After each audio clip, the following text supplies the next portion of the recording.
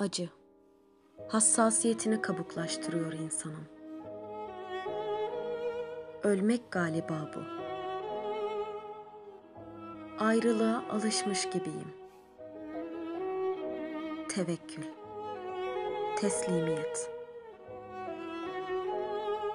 ve heyecanların gün geçtikçe kararan pırıltısı. Alışkanlıkların insanı pestile çeviren çarkı. Artık yanarak değil, tüterek yaşıyorum. Nemli bir tomar gibi. Kanatlarım her gün bir parça daha ağırlaşıyor. Galiba ihtiyarlıyorum.